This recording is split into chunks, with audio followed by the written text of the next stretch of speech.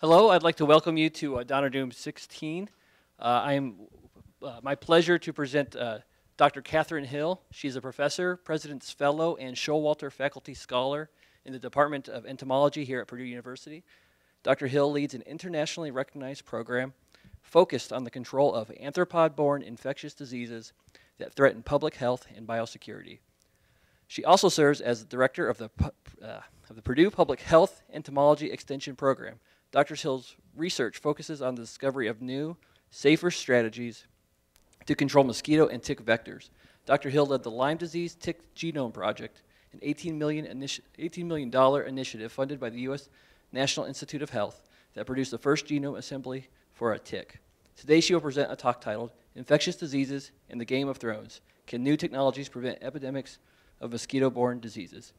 Now we ask that you please silence your phones, but don't put them away. We hope that you can tweet or uh, with the hashtag Dawn or Doom, posting to Facebook, Snapchat, Instagram, or whatever social site you prefer. Also during this presentation, we'll be using the, the uh, Hot Seat app, which is an app produced here at Purdue. If you uh, do not have that downloaded yet, you may go to the uh, App Store to, to download that uh, for whichever device you use, and uh, Dr. Hill will be explaining how we use that throughout the presentation. Thank you.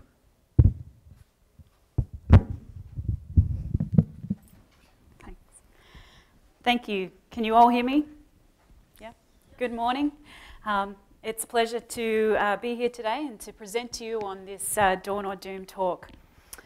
Um, in the infectious diseases Game of Thrones, you win or you die. I believe infectious diseases may be one of the biggest threats and challenges facing humankind today. And I'm going to explore the very interesting and very compelling parallels between global infectious diseases public health and the Game of Thrones saga that was penned by George R. R. Martin, really entitled A Song of Ice and Fire. Now, there are many infectious diseases. I'm a mosquito biologist, so I will be presenting on infectious diseases that are transmitted by mosquitoes. And I'm going to, of course, focus on Zika. My presentation today has three goals. The first is that I want to challenge the way you think about infectious diseases and our continued ability to control them. I want to help demystify some of the technologies that are being developed, the so-called dragon glass that scientists are using to combat mosquitoes and the diseases they transmit. And I'm going to uh, explore two controversial technologies. The first of those is one that we use uh, or heavily rely on already, and that's insecticides. And the second is GMO, or genetically modified mosquitoes. And I'll present the dawn and the doom. Lastly, my big, hairy, audacious goal, the BHAG, is I want to help you fall in love with mosquitoes. Let's see if I can do that. I'm not going to offer you a position, um, rather a very broad overview of the options and the considerations around those options. And please be advised that the concepts I present today do not reflect the opinion of Purdue University. This will be more dawn than doom. I'm not one of those morning people, but I am an optimist.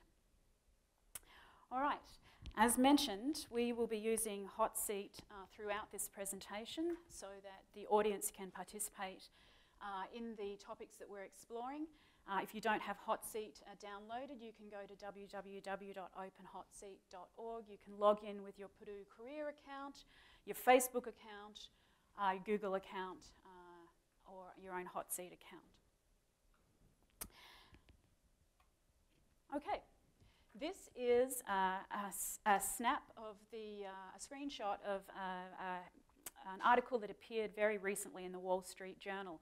And here what you see is one of the employees from a company called Oxitec, which one, is one of the companies developing GMO mosquitoes. They are releasing GMO mosquitoes in a field trial. And the title uh, of the uh, Wall Street Journal article is Mosquitoes are deadly, so why not kill them all? Let's start with that question. And I'd really like for you to, to participate. Uh, either you may agree or disagree uh, with that position. So please, please, you are most welcome to uh, uh submit your um, opinions on that. And we'll see what the audience thinks, and then we'll see how your uh, opinions change over time. All right. So I believe, uh, well, actually, I guess I could start out by saying that you know mosquito-borne diseases very well. These include things like malaria, dengue, yellow fever, uh, West Nile virus, uh, and now most recently Zika. In fact, humans have been battling mosquito borne diseases uh, for millennia. And the fact that you and I are here today is proof positive that our ancestors were victors in those earlier battles. But the question is will we be the victors going forward? And I believe that uh, there is a new threat beyond the wall, or that the threat beyond the wall for us is a new era in infectious diseases. Now, here's an interesting question, too. Millions around the globe are hooked by the throne saga. It's described in five weighty tomes, about four and a half thousand words, all told.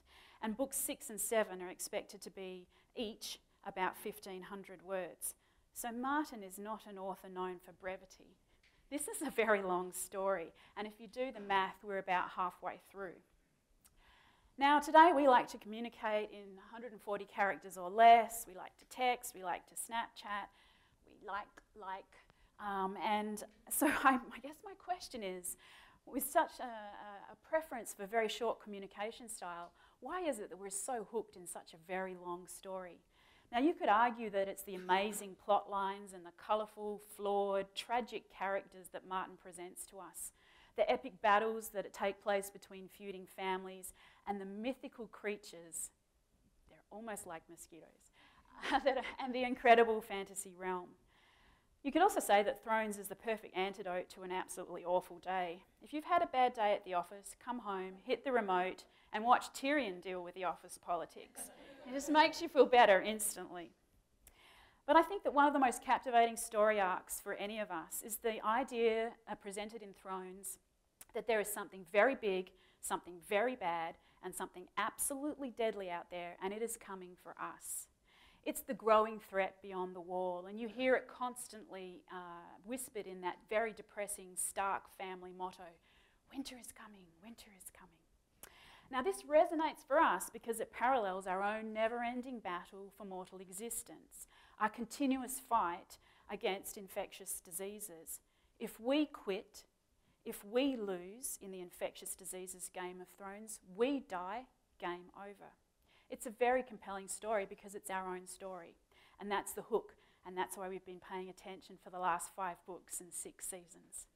We've been promised a mega battle with a winner, and we're still tuned in because that hasn't taken place yet. We want the good guys, us, to win. So, here comes the doomy part of my talk. It's the idea that infectious diseases are the threat beyond the wall. The last century marks a period of very significant uh, impact in infectious disease control in the developed world. We've had many medical advances that have radically reduced the number and severity of infectious diseases that we suffer during life. Dying from a microbial infection these days is now relatively rare in the Western world. Uh, in the US, lifespans have increased by some 30 years since 1915 as a result, really, of modern medicines. This has been achieved through a number of different strategies. One of those is medicines, and I'm referring to vaccines and drugs when I discuss medicines. Also, insecticides, modern construction, sanitation, and healthcare programs. We've managed to put a dent in many um, diseases, including those transmitted by mosquitoes. Malaria and dengue, which used to be common in this country, are not so common anymore. Indeed, in the last 50 or 60 years, you could argue um, that we have come um, collectively to expect to live relatively disease free for the vast majority of our lives. We also, in the developed world, expect to live without too many insect encounters. We don't like finding cockroaches in our houses. Now, that doesn't apply to our fellow human beings in developing countries who still shoulder the majority of the infectious disease burden. And as I said, human evolution has been shaped by mosquito borne diseases um, for uh, millennia. We haven't always been free of infectious diseases.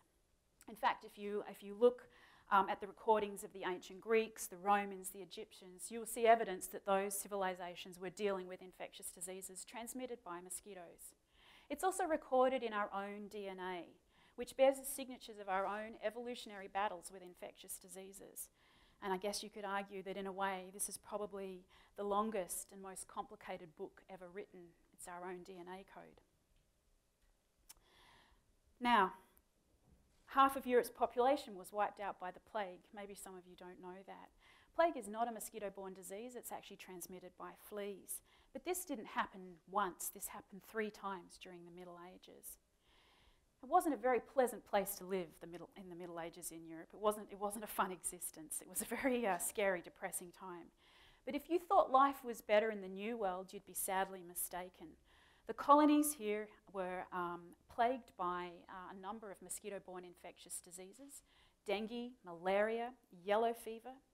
At one time, uh, Charleston was described as not a place to go to live, but a place to go to die. And about less than one third of the human population made it to their 21st birthday. And that's because of infectious diseases transmitted by mosquitoes. Malaria, in case you didn't know, was prevalent in this country up until about the 1940s and 50s when we started a massive eradication campaign to control mosquitoes that transmit malaria. And at the same time, in about the 1940s, we started to deliver modern antibiotics uh, for control of infectious diseases. We had uh, the discovery of penicillin and all of its derivatives. Also, beginning in the late 1800s, we made the discovery that mosquitoes can actually transmit diseases, and that then gave birth to the beginning of our efforts to control infectious diseases by controlling mosquitoes.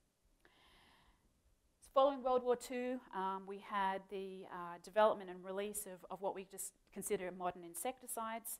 Um, these are largely neurotoxic chemicals, and they've been in very wide use to control mosquitoes. But there are some very strong indications that we are losing our ability to control diseases transmitted by mosquitoes and all infectious diseases. You've probably heard about multi-drug resistant tuberculosis. Look what's been happening with Ebola um, and the outbreak of Ebola in Africa. Those diseases are not transmitted by mosquitoes. But the same thing is happening with mosquito-borne diseases. Dengue is on the rise. Uh, this is a disease that has exploded in the last 50 years, and I'll, I'll explain why in a minute. It's becoming um, potentially re-established in, we're very worried that it could become re-established in the United States. There's a yellow fever outbreak going on in Africa right now. So experts are warning that our continued control of malaria and other mosquito-borne diseases is seriously threatened by insecticide resistance. And then, of course, beginning this year, we had the global crisis that is Zika. I just have to show you my little mosquito, the threat beyond the wall. So here's a great uh, picture. Uh, it's a screenshot from the Australian Broadcasting Corporation, and if you didn't realise, I'm actually Australian. Um, so, um, and it's in, in keeping with the blue theme for this presentation, so I thought I'd use this. So um, on the 2nd of February this year, the, well, it's actually the 1st of February, the WHO declared Zika a global health crisis. And uh, since then, you can see there have been some uh, massive efforts uh, to control the mosquitoes that transmit Zika using insecticides. And what you're looking at there is a fogging application. Um, it's probably a synthetic pyrethroid insecticide, which has been widely used to control mosquitoes um, in an attempt to get on top of uh, the Zika issue. In short, it would seem that we are returning, uh, witnessing the return of old diseases, malaria, dengue, um, that we thought previously we had under control. And at the same time, we're witnessing the emergence of new diseases like Zika that we are desperately scrambling to understand. How did we get here? It's pretty simple. And I think it's fair to say, and this is a great headline, I'm trying to be sort of democratic about the, uh, uh, the news uh, sources that I, I, target here. So this is one from Fortune. Um, so this is a, a headline uh, uh, that appeared uh, just a couple of days ago. Why the US has a limited arsenal to fight Zika mosquitoes. So the question is, how did we get here? It's very simple. We have overused drugs and insecticides, and the parasites that cause disease and the insects that transmit them have become resistant very quickly. I, don't, I think this uh, picture illustrates it beautifully. Uh, there are now some 500, nearly 600 species of, of insects that are resistant to some 300 different insecticides that we use for pest control. That's pretty staggering statistics, and all of that's taken place in the last, or since the 1950s when we had the development and release of modern insecticides. So it's, um, I think it should be pointed out that we are now reliant on a very small number of insecticide classes to achieve pest control. We mainly rely on synthetic pyrethroids, uh, which are considered the, the preferred option because they're the least toxic of all of the uh, chemical weapons we have at our disposal. And uh, also organophosphates, which are, are, are, less desirable but still used in emergency situations. They are more toxic, not only to insects but to a variety of other organisms. And we're wondering what's going to happen if we lose these. So we, we um, are losing our, our arsenal or, or depleting our arsenal. If you couple this then with unprecedented population growth, as illustrated here, urbanisation, deforestation, habitat loss, we've set ourselves up for the perfect storm. The geographic ranges of mosquitoes and the geographic ranges of humans are constantly overlapping now, and that makes human mosquito encounters much more common. Just like thrones, uh, we are facing some threats associated with impending climate change. It's just that ours isn't a move towards uh, cooler temperatures. So I'm just going to keep uh, playing on that theme there. So winter is coming. Now, Jon Snow knows winter is coming. He doesn't know much, but he does know that winter is coming. And he does know that the White Walkers are, are going to cross over the wall. Um, now, most folks have dismissed tales about winters long ago when mythical creatures roamed the earth. Meanwhile, the leaders in the capital, charged with protecting the masses, are obsessed with things like re election. And they are doing nothing to prepare the nation for the coming winter. Still not convinced of the parallels? now, this is a little out of date and a little unfair because only a couple of days ago, uh, Congress released uh, or approved 1.1 uh, billion uh, in funding to support Zika research and mainly for vaccine development. But uh, it, it, was, it was appropriate at the 15th of July um, when we, and, and, and not three days later, we had local transmission of Zika in Florida. So um, it, was, uh, it was a worrying time um, because we were very concerned um, that we would have an, um, continued support to investigate new uh, controls for Zika. So could infectious diseases control be a very short-lived phenomena for us, just a sort of blip in the, human, uh, the history of humankind? I think it's fair to say that mosquito-borne diseases are becoming more common and they will continue to become uh, much more common. We're going to experience more epidemics life is starting to look a little precarious here in Westeros. Excuse me, I'm just getting a message. Um, yes, a raven has arrived from King's Landing. Um, it was a white one. Winter is here. All right. What are we going to do? This is what we're going to do. So, after, good luck. All right, so our first generation of antibiotics and insecticides, the penicillins, the DDT insecticides, um, I think you should know that they were very low cost um, discoveries, they were very effective strategies, and relatively speaking, they were fairly easy to find. You could say they were the low hanging fruit.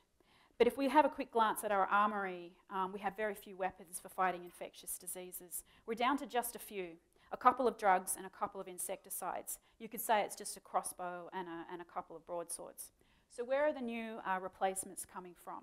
Unfortunately, we're going to have to dig much, much deeper beneath the snow to find our next stash of dragon glass. I'd like to introduce you to the White Walkers of our world.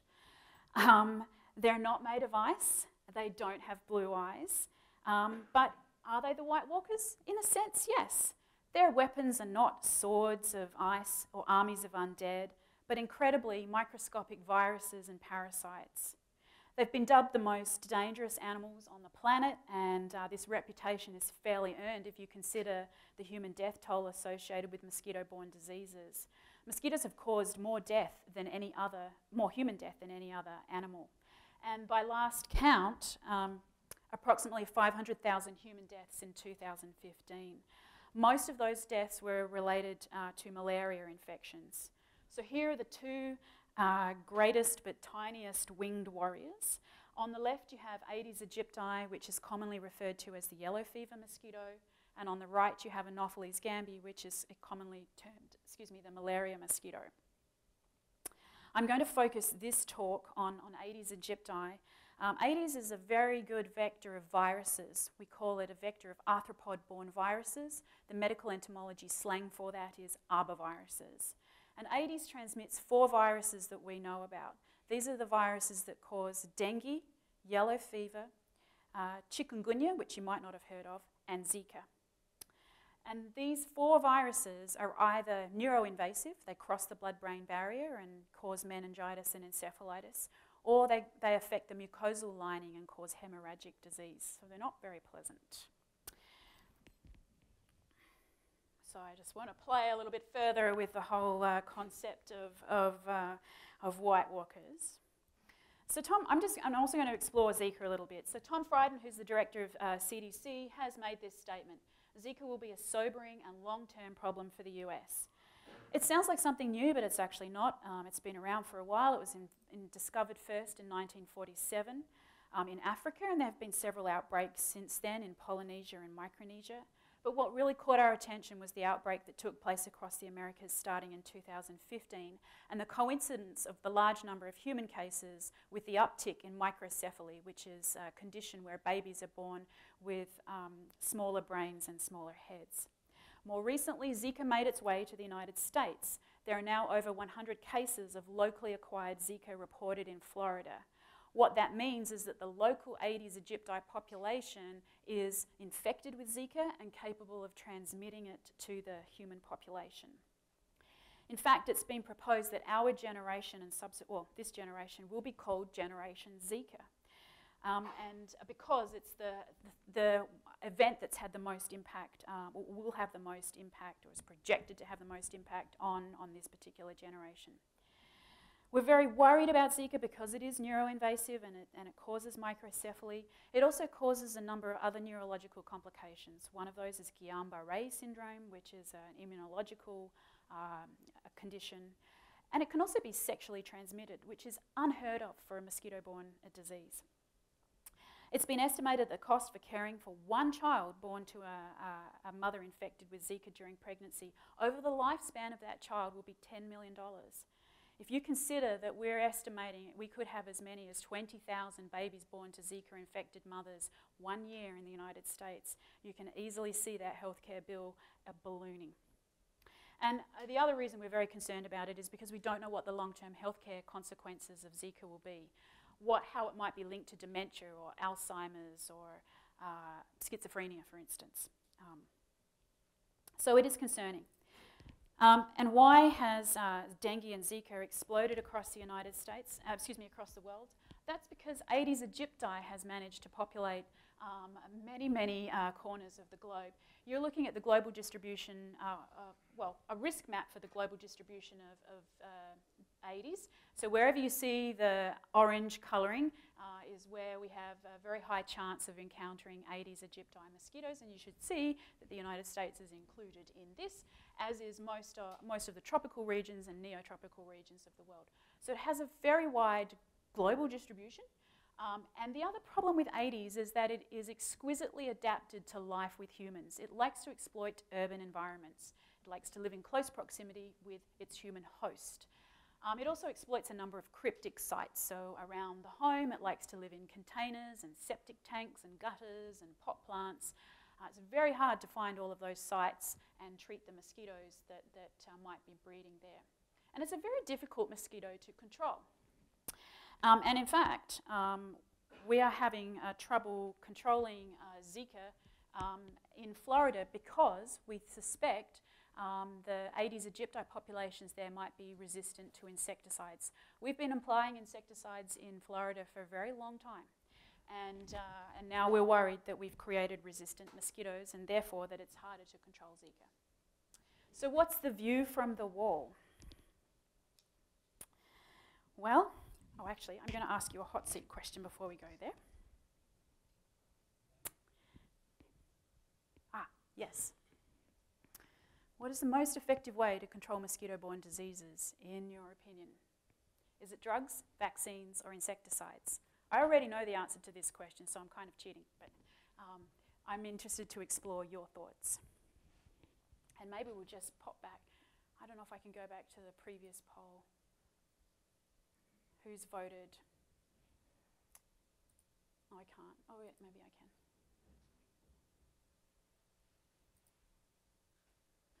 Oh dear, we're split on whether or not we should kill off mosquitoes. So it's, a 50-50 split. So, uh, so, well, that's pretty democratic. Okay. Um, Right, so I'm going to let you continue with your poll. Um, I know what I'd vote for, but I, I won't, uh, I'll, I'll refrain from voting. All right, so the view from the wall. Uh, in my opinion, it's actually, we can view dawn from the wall. Um, I, I, can see the dawn on the horizon. Maybe others can't, but I can. So, uh, what's the, night, what, the Night's Watch been up to? What are scientists really working on? And I have to, I have to laugh because sometimes the life of a scientist does feel a, a tad like you're alone on a 700 foot wall of ice facing a bunch of wild things. Okay? Not Canadians, but anyway.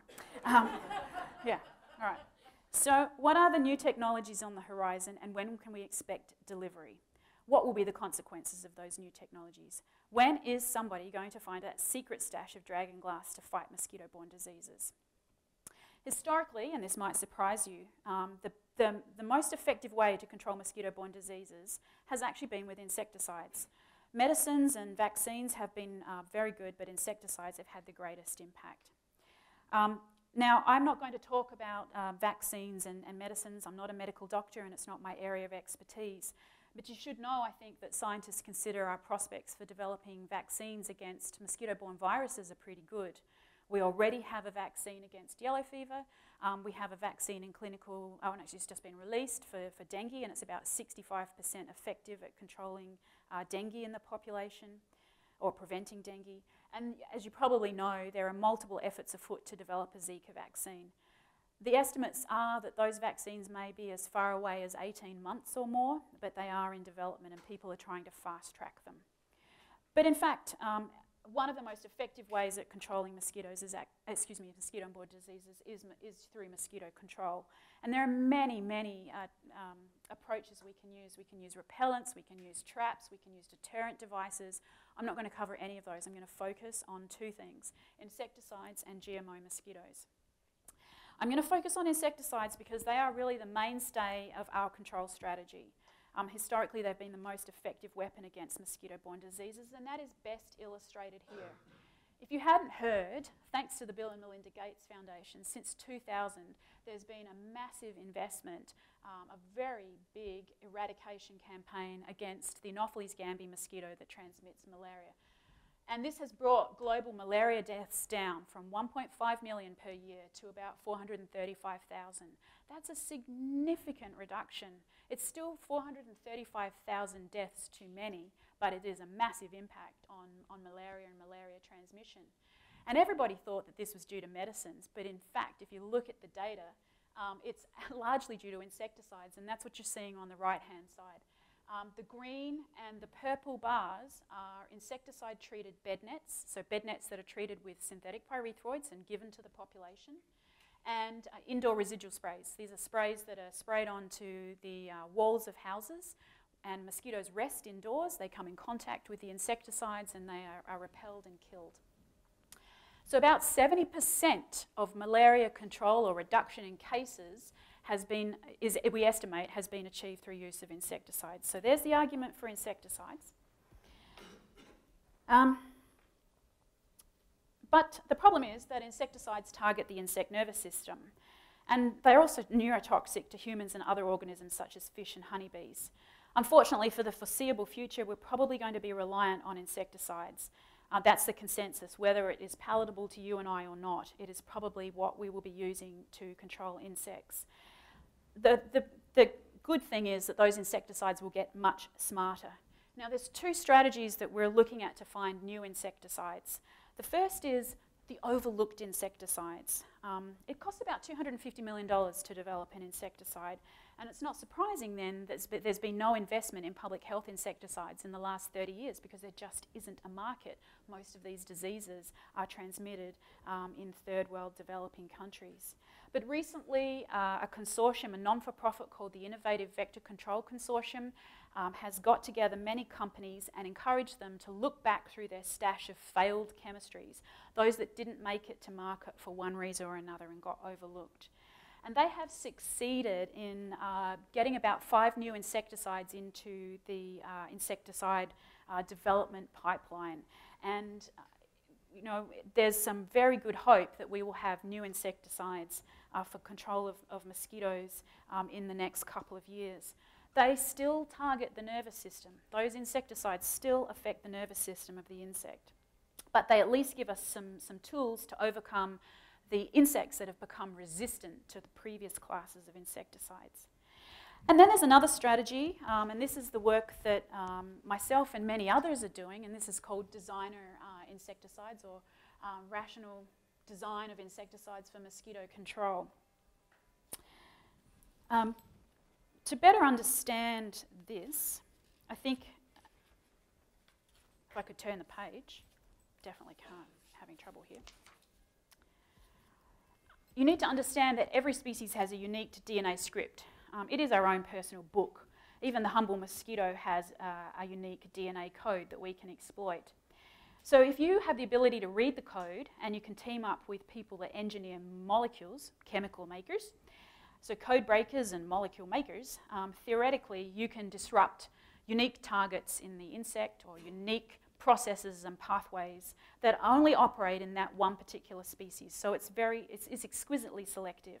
And what you're seeing here um, is uh, a target in the, in the mosquito, in the Aedes aegypti mosquito, and then a molecule that we're designing as an insecticide to, to, um, to bind or interact with that target and lead to death or paralysis of, of the insect.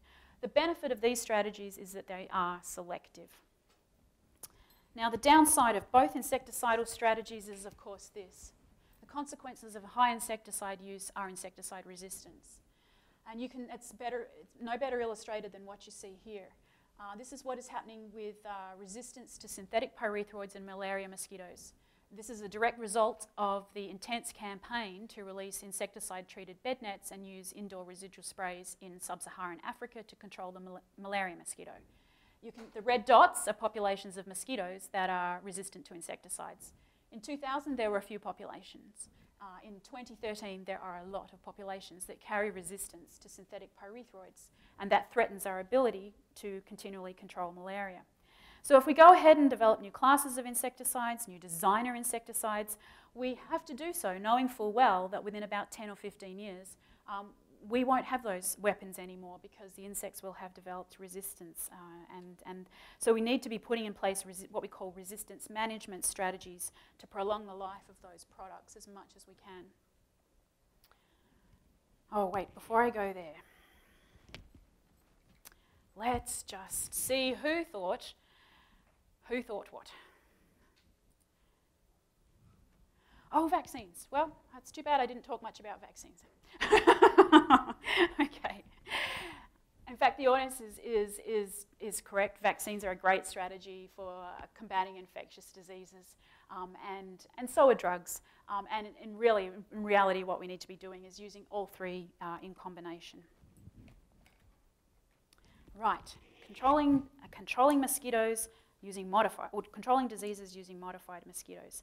Of all of the strategies that are out there under consideration by scientists around the globe, this is probably the, the most controversial, it's the most high risk and most high reward. There are multiple strategies under consideration here. I cannot cover them all, and it is also not my area of expertise. But you can think about them as sort of breaking down in two ways. One is a strategy to eliminate the enemy. You introduce a lethal gene, um, you make the population crash, um, it's no longer able to transmit a disease, and this is a strategy being used by a company called Oxitec. The other strategy is to disarm the enemy. Um, and uh, in, in, this strategy, you introduce something uh, that uh, interferes with the ability of the mosquito to transmit a disease. You render it incapable of transmitting a disease. You don't kill the insect, but you make it incapable of disease transmission. You disarm its ability to transmit. Um, and this is something that's being uh, pursued by uh, a non-profit uh, called Eliminate Dengue. I think you should know that um, you, I wouldn't call the second strategy, strategy a genetic uh, modification strategy, but it does involve the introduction of a foreign organism that doesn't naturally circulate in a mosquito population. Of the two strategies, strategy one is the true genetic modification strategy. They've both gone into field trials. They have both released um, modified mosquitoes into the environment. They're both experiencing very good success with those field trials. Um, And I think both of these strategies will, they're expanding um, in terms of their global uh, field trials. Um, and I think you'll see both of those uh, continue uh, going forward. Now, making transgenic mosquitoes or genetically modified mosquitoes sounds very simple, but it isn't. Um, scientists have been playing around with this since about the 1970s. Um, we keep developing toolkits uh, to um, introduce genetic material or genes into a mosquito population. The one that you've um, heard about most recently probably is CRISPR-Cas9. Um, and I'm, I'm, I'm not going to uh, discuss that. There's actually a talk coming up by Bill Muir, uh, two talks from now. Um, he is a geneticist and an expert in this area, and he will cover that. Um, so the Oxitec strategy is, uh, is really interesting. Um, it involves the introduction of a lethal gene uh, so that uh, the progeny die at the larval or pupal stage. Now, um, and, and what you do is you modify the male and mass rear it and introduce it into the environment. Males can't blood feed, um, so there's no uh, risk of, of disease transmission, and of course, you cause the population ultimately uh, to crash. And that lethal gene isn't switched on until the mosquito is introduced into the environment. So, so people argue that it, it's fairly safe. It's very akin to the sterile insect strategies that have been used for many years um, to control uh, screwworm fly. But it doesn't have an inherent mechanism for making it spread through the population. One of the problems with transgenic strategies is that you, your gene, your transgene that confers the effect that you want, gets diluted as mosquitoes breed. Um, and, and you don't want that. You, you want to have it um, uh, populate uh, the, the mosquitoes. And, and so the issue for Oxitec is that their lethal gene doesn't have a drive mechanism. So what they have to keep doing is rearing hundreds and hundreds and hundreds of mosquitoes and releasing those constantly into the field. And they have to hope that they outcompete the wild mosquito population. But they've run uh, trials in Brazil, Panama, Cayman. They've just been approved to run a field trial in Key Haven, Florida. Um, and, and it looks like um, their, their strategy is very effective at suppressing the mosquito population almost to the point where it crashes and you, and you don't have disease transmission. There are a couple of concerns. Um, some mosquitoes do survive that, that uh, lethal gene and they go on to survive in the environment. So the systems may be a little bit leaky um, and people are a little bit concerned about that. So so Oxitec has always said that um, one of the benefits of their strategy is that um, all of the transgenic material will, um, or GMO mosquitoes, will die out. And that might not be true. There are other people that are taking strategy one even further. They're playing around with things like maleness genes, where we convert um, all the, the females in the population into males. It's like a switch, a master switch. Um, once again, males don't transmit, and you would eventually cause the population to crash. People joke around that it's a dead end for the mosquitoes, boom, boom. Um, other people are playing around with sterility genes, so they sterile, uh, these are genes that would force the female to become sterile, and so she can't produce eggs. Um, but all of them uh, struggle with the fact that this gene, whatever it is, has to be driven into the population. Um, and, and that is a challenge. That is a very significant challenge that must be overcome for these strategies to be effective. Um, strategy two, um, uh, the Eliminate Dengue program, is where the mosquito effect effectively becomes infected with a bacteria, and you can see that um, here. It's a bacteria called Wolbachia, um, and it infects the mosquito cells. Those are the little blobs that you see inside the uh, insect cell. Um, so the mosquito is infected, and the interesting thing about Wolbachia is that it interferes with the ability of the mosquito to transmit dengue. So when the mosquito is infected with Wolbachia, it doesn't transmit dengue very well. And uh, so um, Wolbachia is, is present in many insect species. It's um, found uh, in, in, in, many species and, uh, and was introduced into to the mosquito to try to suppress uh, dengue transmission. Uh, the Eliminate Dengue program has conducted field trials in Australia and they found um, interesting thing about Wolbachia is that it has its own uh, drive mechanism, so it can spread itself through the population. And when they've gone back out there and recaptured the mosquitoes, um, they find that the Wolbachia is spreading very nicely through the population. So it's spreading um, and it's likely um, suppressing the dengue uh, transmission. Here's the catch. We don't actually know how it works yet. We don't really know yet how Wolbachia bacteria suppress dengue transmission by the mosquito. So here we are releasing Wolbachia infected mosquitoes into the environment, but we still don't quite know how it works. And I, I do think that is cause for concern. But this has been uh, funded by the Gates Foundation, um, and large scale field trials are planned in, in Brazil and Colombia. All right, so what are the questions that keep mosquito biologists up at night? Um, I think there's little doubt that we're going to see GMO uh, or release of GMO mosquitoes to control pests and mosquito vectors of disease, and this is going to take place in the next 10 to 15 years. We're very close now, um, and I think you will see a number of, of um, entities um, pursue this strategy to its bitter end. Um, so the things that we worry about are, are questions like, what if we inadvertently create mosquitoes that are better at transmission rather than worse? What if we inadvertently create mosquitoes that are more aggressive biters um, or that displace other species out of the environment that we didn't want to disrupt? Maybe, I, I don't know, you could use your imagination, but um, these are the sort of things we think about. The other question is how will they outcompete the wild population? If you're modifying a mosquito, you're actually affecting its fitness. And, uh, and so it's not as fit as the wild population. So, how does it compete with the wild population of mosquitoes? What's the battle that goes on out there in the field? If we wipe them out, what is the ecological niche um, that, that they leave behind, and what's going to fill that void? Because something will. Something will ultimately fill that void. What are the consequences of a genetic system that's leaky? We've got no idea. We have absolutely no idea the answer to that question. We're really asking what are the unintended consequences? You don't know what you don't know, and that's a problem.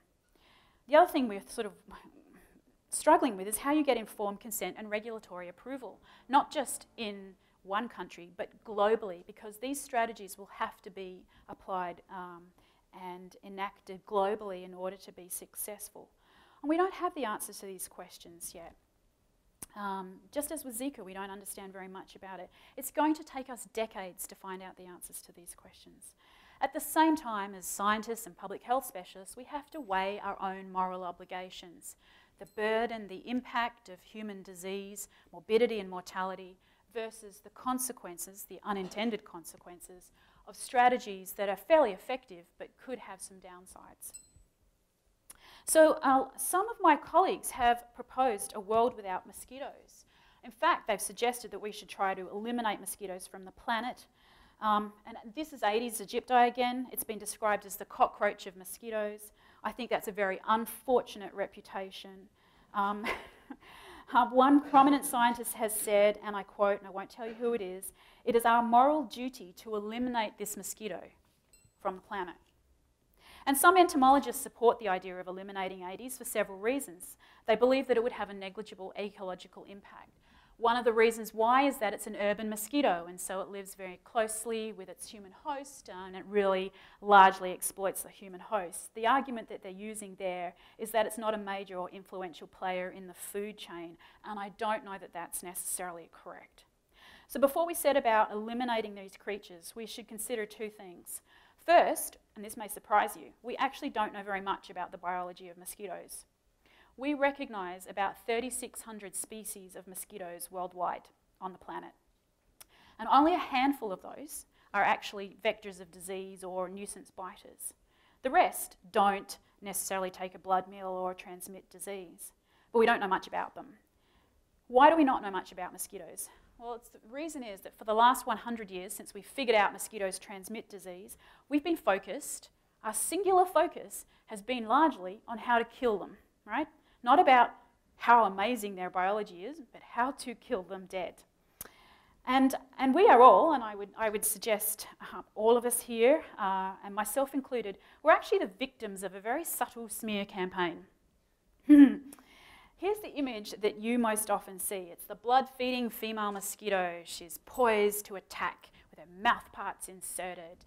And she um, and oftentimes the media will, will sort of show you this and then they'll, they'll play some audio with it as well, that sound of the mosquito buzz. Hmm. Um, but what if I were to show you this image? Would it surprise you? It actually surprised me. um, the biology of mosquitoes is actually truly amazing and very poorly understood. Um, mosquitoes do visit flowers. They do visit flowers to take sugar meals or uh, to, um, to get carbohydrates and energy. Um, some of them do probably pollinate flowers. Um, they actually have a very important role probably in the food chain. They are food sources for bats and birds and fish and even other insects. But that we have a very poor grasp of.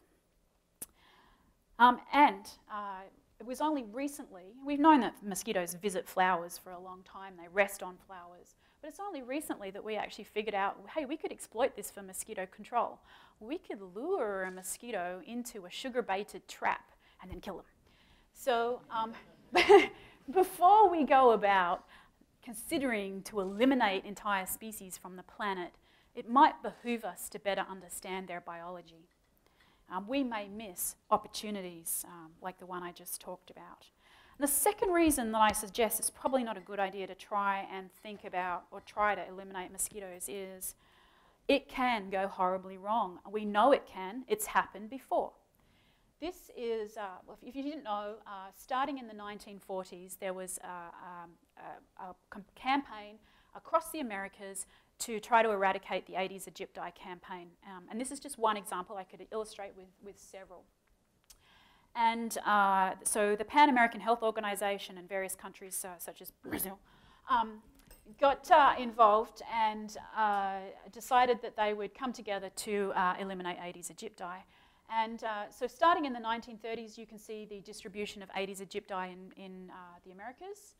Um, the campaign ran uh, for throughout uh, up until about the 70s, and then it stopped. It was very expensive. It was quite effective, um, and a number of countries disengaged.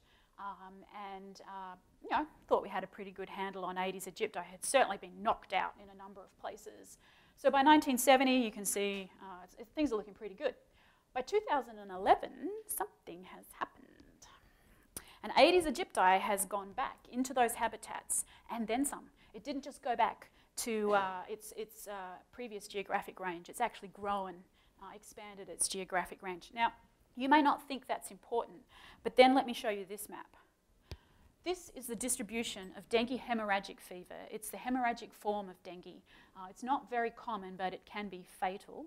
And uh, you can see, um, I forget what the years are here, but um, there was not any dengue hemorrhagic fever uh, in South America um, prior to uh, the elimination campaign. And now there's dengue hemorrhagic, the incidence of dengue hemorrhagic fever um, in the present day is pretty widespread. Um, and, and, there are lots of reasons for that. So we need to be very, very careful when we're thinking about um, eliminating species. So as one person has said, you know, genetic modification tools, they're powerful tools that they, and they could help win the war for us. But that was exactly the sentiment that people felt when things like DDT first came along. We all know what's happened with DDT. It's good to be optimistic, but we need to be realistic as well. That's actually Zach Adelman from Texas A&M University. And the Bill and Melinda Gates uh, Foundation has a, a nice perspective on this as well. We are not targeting to eliminate mosquitoes, we are targeting to eliminate human disease. All right. So thank you for staying uh, uh, with me through the science part. Uh, I can see so everybody still thinks vaccines. Okay. I didn't manage to uh, to change your. Uh, all right. So I'm going to ask you: Should we release uh, GMO mosquitoes to prevent epidemics of diseases such as Zika? That's up to you to uh, decide whether you agree or disagree. I'm interested to capture your thoughts. And then I'm going to start another poll just for fun. Who will win Game of Thrones? Come on, you know that's why we're all really here. We're all Thrones fans back to my original question who is going to win Game of Thrones? Now, we know that Martin shuns the standard Hollywood plot. Obviously, he does. He killed off Eddard Stark and Robb Stark very early on, much to my disappointment. Now, I suspect the answer to this question is that no one wins the Game of Thrones, and this is true in infectious diseases as well. It is simply a constant and never ending fight you might sit on the throne for a very brief period. I don't know why you would want to, it looks like a very uncomfortable chair, but your reign will be short, right? We are in a new era of infectious diseases, but this is a situation of our own making. We have been extremely complacent this past summer, um, and uh, the last winter uh, was so long ago that we can't really remember it, and we haven't been investing in the Night's Watch. So I do foresee that uh, we will continue our reliance on insecticides and we will continue to pursue GMO mosquitoes. There will be successes um, and these technologies will make some impact um, in the coming decades. There will also be unintended consequences. There's no doubt about that. And I, I can't offer any other perspective than that. We will have to constantly weigh our moral obligations, alleviating the burden of disease versus controlling with some strategies that might have some side effects. Um, but for infectious diseases, the stakes are very high and it would be irresponsible not to try. So, I don't know who's voting here on, I'll, I'll let you keep voting for a minute and we'll come back uh, to uh, Game of Thrones. Who moved my dragon glass? Right. if you know this, the book uh, Who Moved My Cheese, um, you'll know that the premise is there's a creative advantage to constantly looking for new cheese slash dragon glass. Um, so our role as a scientist is to advance knowledge and to develop new technologies. It is to find new dragon glass. Okay, we don't dress in black. Um, but we do take an oath of sorts to conduct sound and ethical science for this night and all nights to come. And we do operate via a code. We do work really hard and it, we do good work um, and it's lonely. Many of our towers, I mean labs, are um, in disrepair. Um, and all this ranging beyond the wall is very expensive, uh, particularly when it happens at large scale. Our advances occur incrementally and slowly, but it's the only way that we develop new weapons to fight infectious diseases. So we must proceed with caution. Dragon glass not only kills White Walkers, it can be used to create them.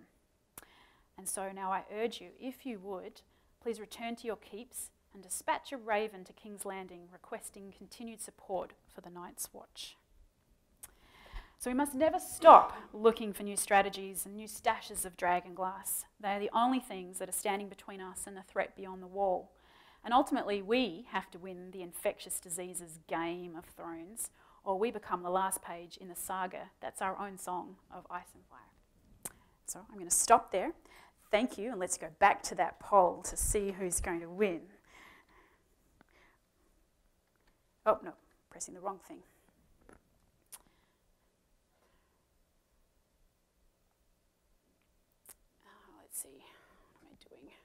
I need to stop the.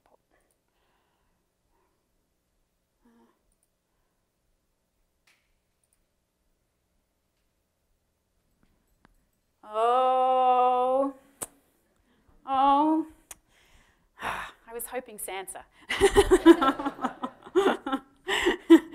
yes, it's going to be very interesting to see what happens, but you're going to have to wait a long time to find out, I think. So um, I really don't think it will be any, any well, my bet is it's, it's not any of these people. It's not going to be Jon, surely. Come on. okay. All right. Thank you very much for your attention. Um, and thank you to uh, the uh, Dawn or Doom uh, folks for the opportunity to present and all of the technical support that's been here today.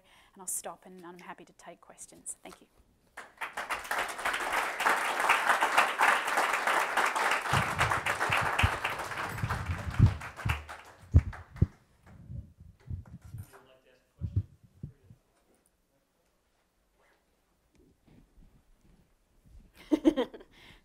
I'll even answer questions on Game of Thrones.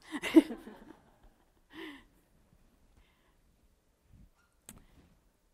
questions. Oh, there's a question at the back.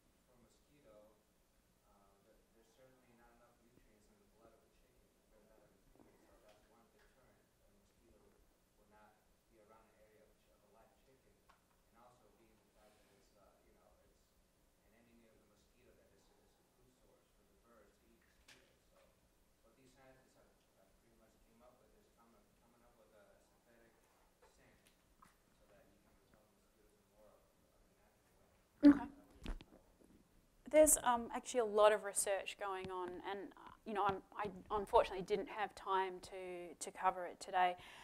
And there are quite a few species of mosquitoes that do like to feed not on humans but on, on other blood sources, including uh, birds. Um, and in fact, they'll preferentially feed on birds rather than on humans. And those mosquitoes have a very big role to play in disease transmission because they help diseases toggle between different species. And West Nile virus is a very good example of, of one of those diseases where, where that happens. Um, there is a lot of investment going on. There's, I guess you would say, renewed investment in um, natural products um, as new insecticides. And I, I, didn't cover those today, and I would have liked to, but I, I just couldn't. Um, natural products are very attractive for a number of different reasons. They have they're more environmental, considered more environmentally benign. They have fewer regulatory hurdles for product registration, um, and a lot of people are looking at uh, plant extracts um, that uh, have. There's very good evidence that they have uh, strong repellency and even toxicity uh, to mosquitoes and ticks. Uh, um, and so it's a very hot area of research. Um, and uh, you know, there's a thinking that it might be possible to even get some of those products uh, approved earlier than some of the more traditional insecticides, small molecule insecticides, because they are natural products. Um, but we still don't know how they work. Um, that's actually what a lot of us are sort of scratching our heads about. It's like, how do these, how do these work? Um, and you know, sort of playing around with your, your species idea. I mean, people do you they talk about push-pull strategies where they push mosquitoes away or pull them into into other areas, and certainly scents and, and things like that. You know, how something smells can be. You know, people are looking at how you could be exploiting that uh, for mosquito control. I don't know if that answers your question, but. Oh, how how I um, yes, well, uh, probably not as effective as you know some of the some of the other strategies that we've we've discussed. But you know, when we get really desperate for mosquito control, we'll do anything. And I think you're seeing some of that play out in Florida right now with Zika. So, yeah. yes.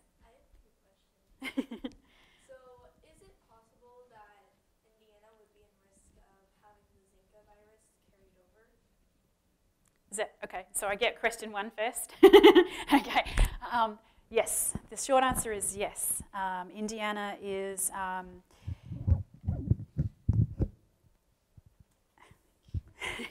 so the question was, is Indiana at risk for, for transmission of Zika? And um, local transmission of Zika.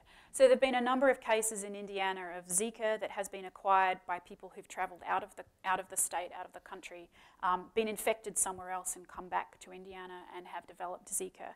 But I think what you're talking about is domestic uh, or local transmission. Um, you saw the map where I showed the distribution of Aedes aegypti. It's the primary vector of Zika. Um, it has been reported in the state, but it, we think it's not very common here. So there is a risk, but it is low, um, that we could have uh, uh, local transmission of, of Zika here. The one thing to think about is there's actually another species of mosquito called Aedes aegypti, which I didn't talk about today, which is also a vector of Zika. It's not as good as Aedes aegypti, but it is a vector, and it does occur throughout the state. So it's another example of one of those things where we're going to have to wait and see to see what plays out. The short answer is yes. Okay. And the second thing is is um, do mosquito do mosquitoes like dry ice, and why or why not?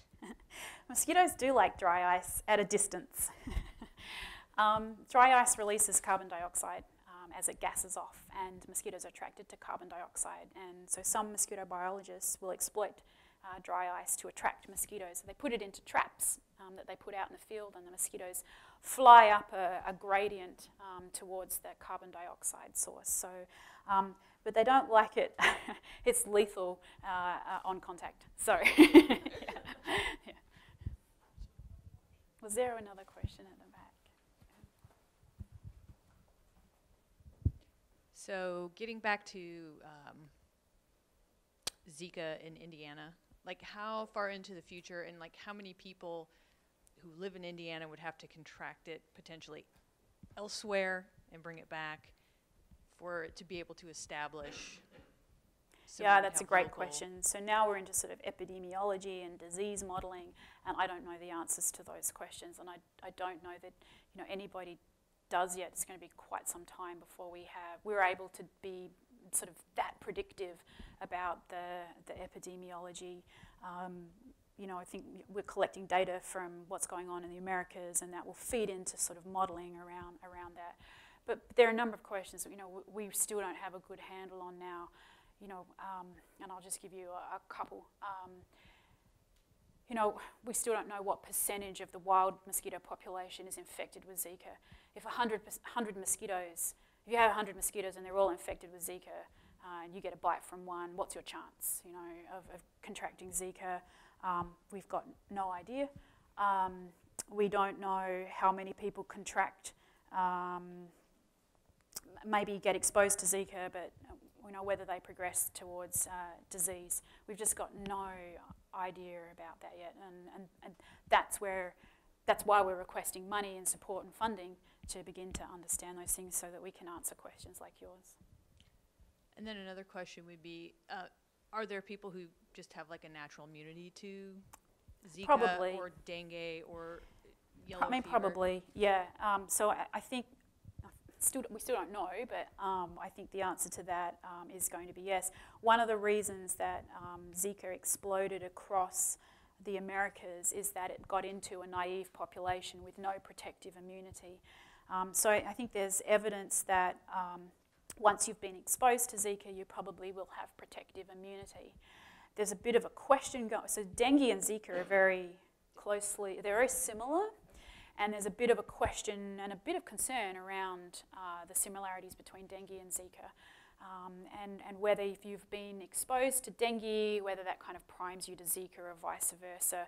You probably, you might know about dengue, the four or five serovars of dengue and how they can kind of, um, if you get one and then get an- another one, you can progress to dengue hemorrhagic fever. And I think that's sort of the concern with Zika.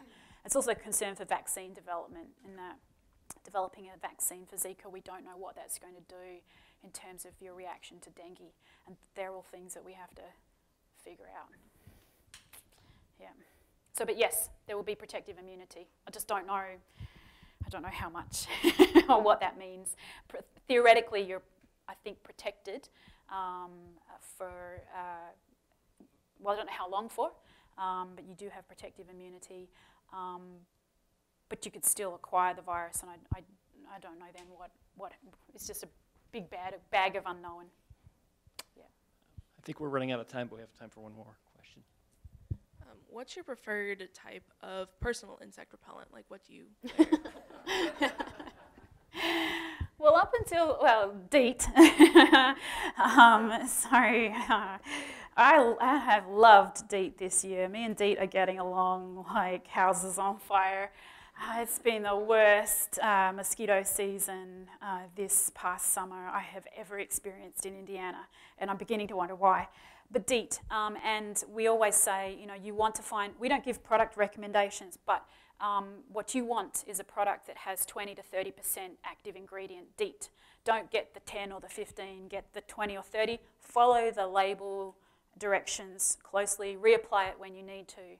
The thing that drives me nuts about DEET is that you can't put it everywhere, and mosquitoes seem to find that one spot that you didn't put it. So, um, you know, which is typically around your face because you're not supposed to put DEET on your face. But it's an extremely effective product. Um, it's uh, what we really, it's the front line of in personal protection. It's really what every, everybody should be doing to protect yourself against Zika, dengue, and West Nile virus. Great question. Thank you. Thank you. Thank you.